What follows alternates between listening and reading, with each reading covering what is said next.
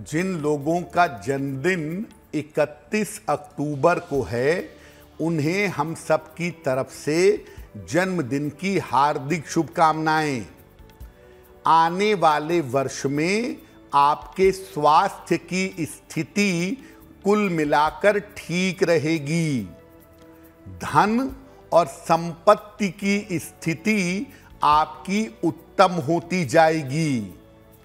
Career में आपके स्थिरता आती जाएगी। हालाँकि विवाह के मामले में और संतान के मामले में अभी इस वर्ष में विलंब होगा। क्या करेंगे? पूरे साल भर राहु के मंत्र का जप करें। ओम रांग राहवे नमः।